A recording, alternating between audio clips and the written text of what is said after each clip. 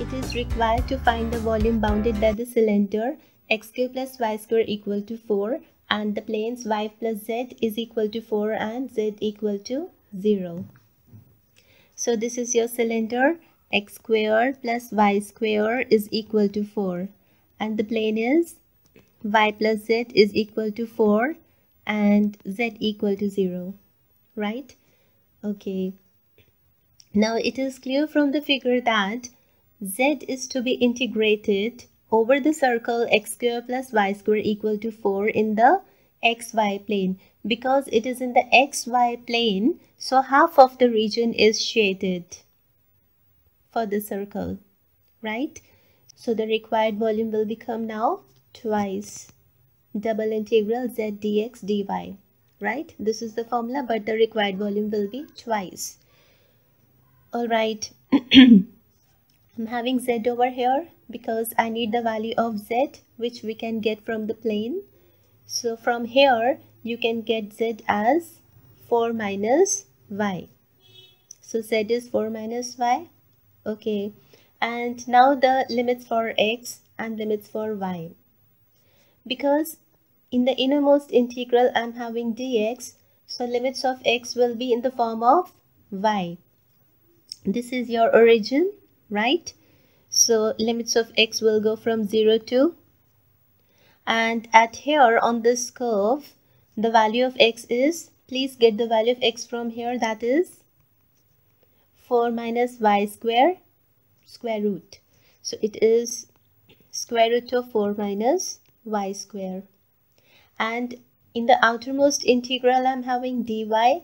So the limits of y should be constant. If you put x equal to 0 over here in the equation of the cylinder, you get y as plus minus 2. And from the graph also, I'm having this is your negative 2 and this is positive 2. So y is varying from negative 2 to positive 2 for this shaded area. So this is minus 2 to 2. So this is minus 2 to 2 and this is 0 to square root of 4 minus y square. So let's solve this required volume. Alright. So this is equal to twice the limits minus 2 to 2 and 0 to 4 minus y square under the root and the value of z you have to put the value of z that is 4 minus y. So this is 4 minus y dx dy. Okay, so this is twice minus 2 to 2. What is the integration for this with respect to x? It is 4 minus y into x. And the limits 0 to 4 minus y square under the root. Putting the value, the upper limit, this is 4 minus y square root of 4 minus y square Putting 0, you get 0. So I'm splitting this now. This is 4 times taking 4 outside. Square root of 4 minus y square dy minus twice minus 2 to 2 and this is y square root of 4 minus y square dy. Please notice here this is your odd function.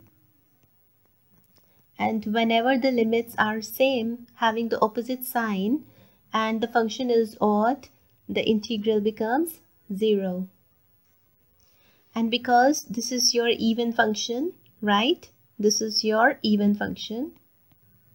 And the limits are same having the opposite sign then this integral will be twice but the limits will be from 0 to 2 right square root of 4 minus y square dy and this is 8. Is it okay fine? This is the property I have used. Okay, so this becomes 16. This is 16 and this is integration from 0 to 2 4 minus y square square root dy Okay, now what is the integration for square root of 4 minus y square?